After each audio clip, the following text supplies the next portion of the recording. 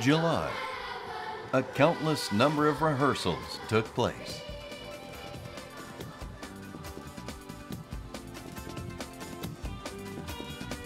The projector's chance to enthrall the audience comes toward the end. What will serve as the screen is a gigantic inflatable house. Images of UK's pop culture will be projected onto this screen one after another.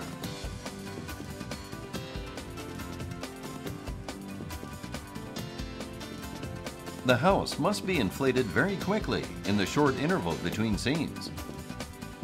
If it doesn't inflate in time, like during this rehearsal, the images and the shape of the screen will not match, ending in a rather embarrassing result. In addition, because it's an inflated screen, it will inevitably be a little skewed. Ito fine-tunes all the projectors remotely to account for the distortion.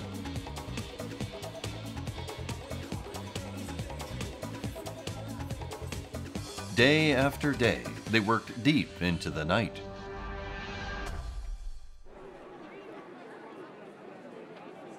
Finally, the day of the opening ceremony. During the actual ceremony, even those involved couldn't get inside the stadium. Matsumoto and Ito decided to watch the opening ceremony in the staff room at a hotel. Now, all there was left to do was wait. When the wind blows, the screen expands. I worry about whether the images will fit. I'm hoping that the wind will die down. I'm very nervous. My heart is pounding. The rehearsal went well, so I think it will be okay.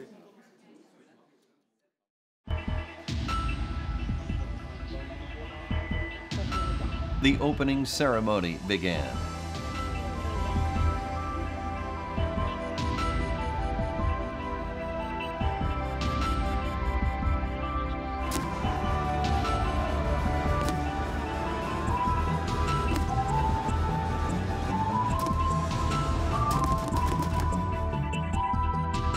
Gradually, the part where projectors were to play a key role was approaching. I know it's gonna be okay, but I'm still nervous. I can't take this. これはもう全世界の人が People all around the world are watching this.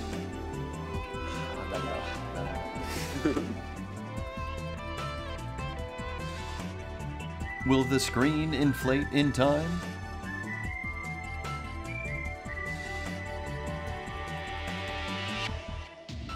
A gigantic screen house appeared on TV.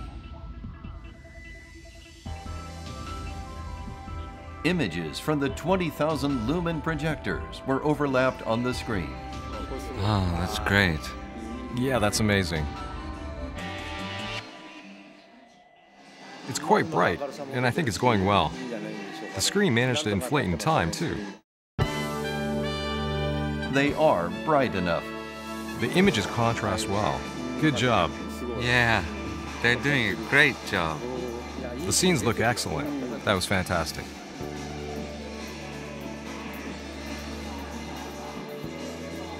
Don't you think the projectors played an important role? Yes, absolutely.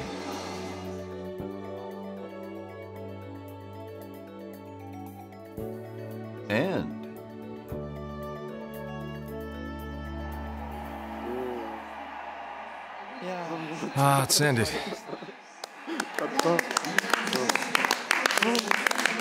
That was great. Yes, it was.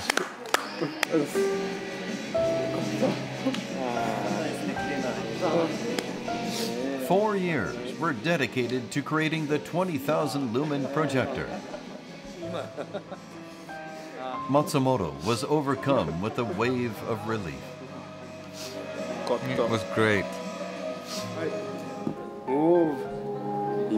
Everyone's efforts really paid off.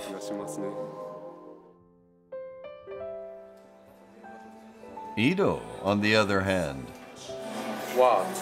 My wife just sent me an email. What a great opening ceremony. The images were beautiful. She had been worried for us as well.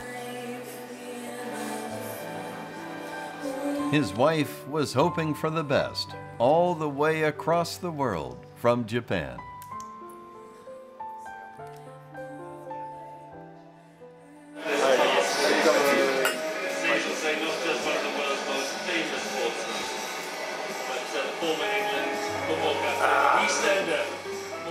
The big moment ended without incident.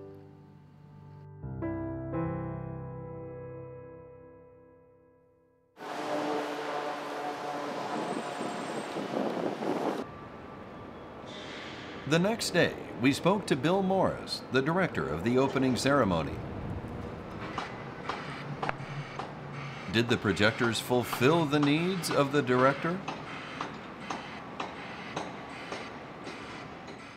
The projectors are, are frankly, uh, uh, the best I've seen, both in terms of power and clarity. They were really, really excellent.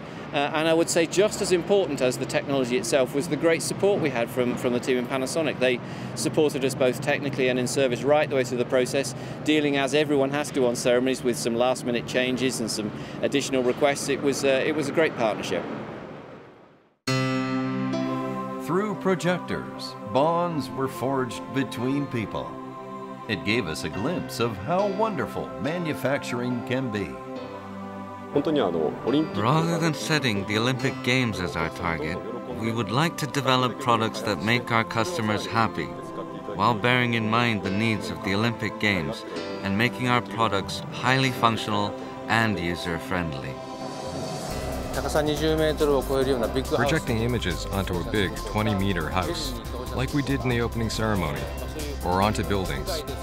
Demand for outdoor use is increasing so I felt that we need to make projectors that are flexible from various different aspects.